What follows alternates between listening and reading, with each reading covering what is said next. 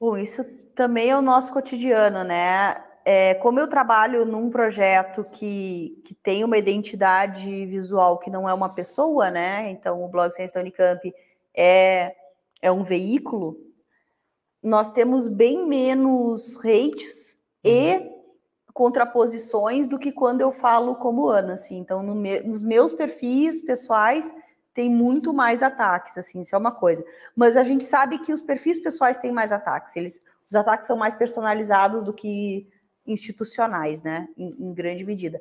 Agora, os ataques, é, falando especificamente de hate, de hate e fogo amigo, porque fogo amigo também tem lá seu machismo, né? Uhum. É, falando desses posicionamentos em relação a cientistas e divulgadores e divulgadoras de ciência, certamente é diferente, né? Assim, é, eu costumo dizer, e aí está dentro de um dos campos de pesquisa meu, né, que são os estudos sobre o corpo, que nós somos e temos um corpo, assim, né? Essa é uma frase clássica dentro dos estudos de gênero, por exemplo.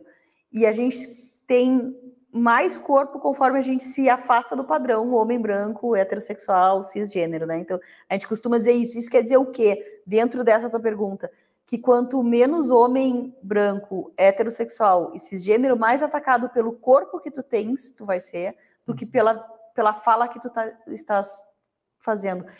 É, então, os ataques às mulheres, né, e aqui eu vou usar mulheres pelo meu lugar, mas, mas pensando todas essas categorias de pessoas que não são esse lugar do padrão, elas vêm acompanhadas sempre de um ataque a quem tu és, e não ao que tu está falando.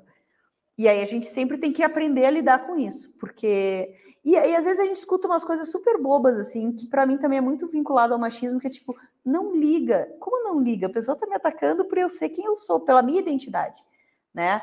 Então, embora a gente tenha que lidar com o ataque, porque faz parte, eu sempre perco um tempo, eu, mas assim, a categoria, né, uh, de ser mulher perde um tempo se recuperando do ataque pessoal. É algo que a gente tem que sempre pensar: que roupa que eu vou usar para aparecer numa, numa imagem? Será que eu vou com, com esse, com, sabe, com essa roupa? A gente tem que pensar em determinados detalhes, então a gente perde tempo na nossa vida pensando no tipo de resposta que a gente vai ter por causa da imagem em si. É, e isso a Kate, e aí, assim, se a gente se exacerba é, isso aí tem a imagem da histérica, da louca, enfim, que também é uma, uma historicidade toda construída. Então, para mim, é muito diferente, é cotidiano, é visível, né? Acho que nós estamos num ambiente, em termos dos colegas, é, que se dão conta disso e percebem, então tem, tem resposta, mas, mas é isso, a gente perde tempo com detalhes que este homem padrão, e ele é o astrônomo mais gato, né? Uhum. Ele ganha esse status, assim, os memes dele são muito melhores que os memes da Kate, porque ele é homem, assim, né? Então ele tem esse lugar de, de, de destaque, assim. E ele acaba sendo o cara que.